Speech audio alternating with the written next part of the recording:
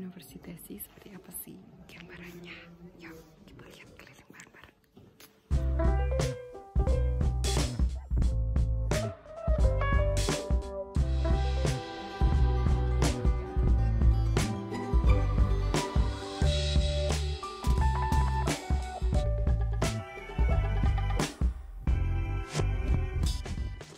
Jadi jenis-jenis kursi di sini tuh ada yang bisa kalian beli pakai yang di sofa kayak gitu atau di kursi meja yang kayak di sana. Nanti ada banyak di pojok sana dan pojok sana. Itu ada um, kursi. Bentuknya sama sih konsepnya sama. Nah jadi kalau kalian mau minjem buku itu minjemnya di sana. Di pos itu kalian bisa minjem di sana. Dan aku kurang terlalu paham untuk penggunaan komputer ini buat nyari jenis-jenis buku yang akan kita baca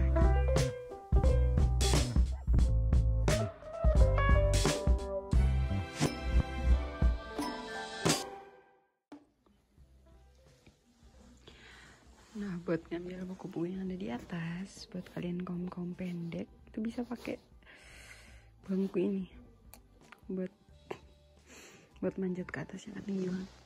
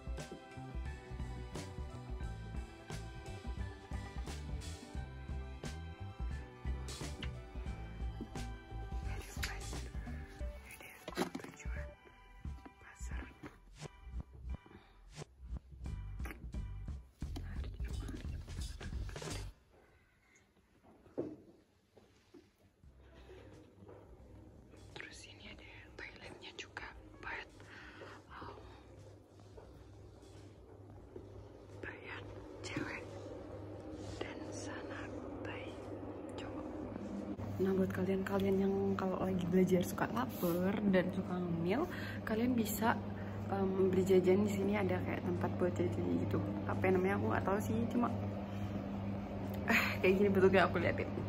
Jadi kalian tinggal masukin koin aja ke situ, uangnya harus pas. Terus um, nanti kalian kasih kode berapa yang kalian inginkan, nanti barangnya keluar ya dari bawah. Nyolotnya, mesti kalian tahu kan, pernah lihat lah terus di sebelah sana juga itu itu kayak ada tempat itu buat kopi kopi hangat gitu sih. Ayo kita coba ke sana. Nah sambil jalan sambil cerita mumpung di sini kawasan toilet jadi aku bisa cerita ke kalian. Hmm, ada di ada dua lantai ada tiga lantai cuma yang biasanya buat orang-orang belajar itu lantai satu sama lantai dua aja. Kita bisa naik lift atau naik tangga terus di setiap lantainya itu selalu ada toiletnya. Apa ya? Toiletnya selalu ada toilet ada wastafel dan lain sebagainya. Jadi kalian jangan khawatir kalau uh, kalian mau ke toilet mau sholat juga di sini ada musolanya. Nah sekarang aku udah sampai di uh, tempat kopinya. Coba kita lihat seperti apa. Aku belum pernah nyoba sih karena aku sendiri kurang suka sama kopi.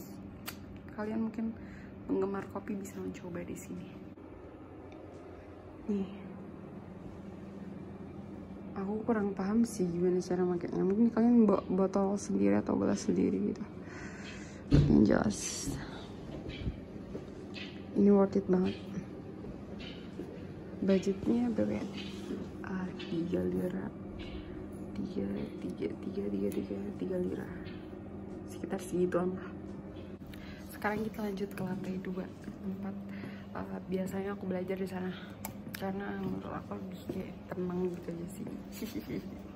Seperti lihat ya tapi aku mau naik tangga sih soalnya takut naik lift. Kadang liftnya agak error gitu